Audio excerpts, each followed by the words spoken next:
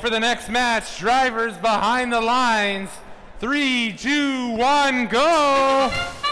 Match number nine is underway. Two great shots from 772. Red Alliance Team Dave putting two up of their own. Three more blue cargo in that upper hub. Blue Alliance one cargo away from the quintet. Red Alliance two away. Blue Alliance does achieve quintet. Only 18 cargo for them total required for the ranking point. Team Dave takes a shot from real far away. They missed that one short. Four blue cargo just bouncing around. Rinse cycle in the upper hub.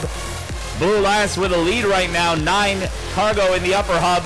Red Alliance needs to play some catch up. Three cargo go off for the Red Alliance. Blue matches with two upper hub cargo of their own. Two more red cargo shot up by Team Dave. 5406 Celt-X, they're driving around. They're trying to acquire some red cargo and they've got it. They put it back out of their robot. They're just readjusting. Shots go up, shots stay in. Team Dave, they put up another one. Another shot from Celt-X. Lots of red cargo flying around now. Blue Alliance, 50-32. The Falcons, they take a shot. That goes in. 50-36 driving around at a high speed trying to play some defense on Team Dave. Celt-X, they take a shot. That goes into the upper hub. Deep shot from Dave. That one's a little short too. Hits the rim, bounces out. Team Dave acquiring another cargo. This shot on the rim, but in. Three cargo go up for blue, two score. Right now, Blue Alliance 52, Red Alliance 40.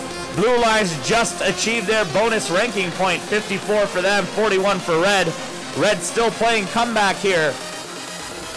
Four cargo go up for Red, three score. That'll help the Red Alliance a lot, but they have achieved the 20 ball ranking point.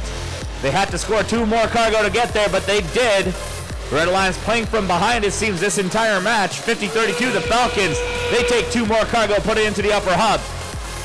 Remember, folks, the Red Alliance is behind right now, but the climb can make a big difference. We are in the final 20 seconds of the match. Robots are going to line up and try and go up. Team Dave already sliding on up. They're on that mid bar. Let's see if they can go higher. Looks like they're on to the high. Celt-X's going up now. 50-36, the Robo Devils. They're climbing. 772's trying to get up on that low bar. Celt-X, they complete the traversal rung climb as time expires. We'll wait for the official scores.